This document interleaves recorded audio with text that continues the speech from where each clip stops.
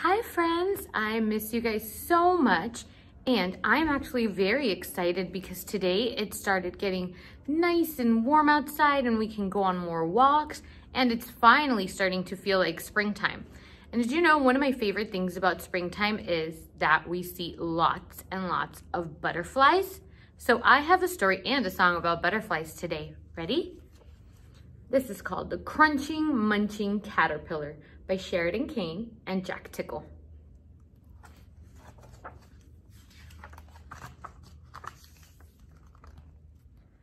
Caterpillar was always hungry. For weeks he crunched and munched his way through the fresh, juicy leaves of blackberry bush. One day, Caterpillar was about to crunch into another leaf when... Bzzz! Bumblebee flew up into the air and buzzed buzzily from flower to flower. I'd love to fly like that, said Caterpillar. Well, you can't, said Bumblebee. I've got wings and you've got legs. Your legs are for walking. I guess so, said Caterpillar. Bzzz! Bumblebee flew off for the next bush. Watching Bumblebee fly had made Caterpillar very hungry, so he crunched and he munched until it was time for bed. Crunch, munch, crunch, munch. Ah, yawn. Caterpillar woke to the sound of twittering. Birds swooped and soared in the early morning light. Caterpillar was just about to start his breakfast when sparrow landed beside him. I'd love to fly high in the air like that, said Caterpillar. Well, you can't, said Sparrow. You need to be as light as a dandelion clock that floats on the breeze. You're far too big to fly. Your legs are for walking. I guess so, said Caterpillar grumpily. Caterpillar carried on crunching and munching all day until the light began to dim. Crunch, munch, crunch, munch. He wrapped a leaf around himself to keep warm. He was just about to go to sleep when... Butterfly landed gracefully beside him.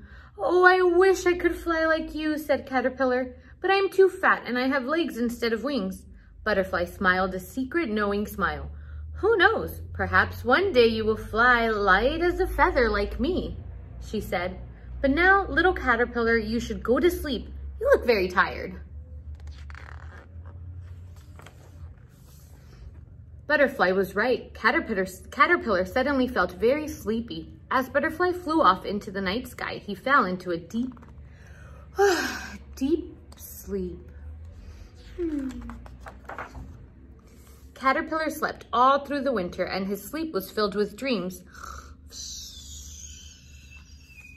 He dreamed he had wings and was soaring in the blue sky about the tall, above the tall trees. He dreamed he was a dandelion clock drifting towards the sun. He dreamt he was a light, as light as a feather floating on the breeze. When Caterpillar woke up, he felt the warmth of the spring sun. He was stiff from his long sleep, but he did not feel very hungry. He stretched and stretched. And a breeze lifted Caterpillar into the air. He was no longer short and plump. He had wings, great big wonderful butterfly wings. Whoa, said young butterfly, I'm flying, I'm really flying. The end. Okay, now I'm gonna show you guys something that I have. Do you see what I have here? I have butterflies. Can you help me count? One, two, three, four, five. And this song is called Five Little Butterflies. Five little butterflies went out one day over the meadow and far away. One butterfly flew much too high and disappeared into the sky. How many butterflies are left? Can you help me count? One, two, three, four. Four butterflies went out one day over the meadow and far away. One butterfly flew much too high and disappeared into the sky. How many butterflies are left, guys? One, two, three. Ready? Three butterflies went out one day over the meadow and far away. One butterfly flew much too high and disappeared into the sky. Ready? Help me count.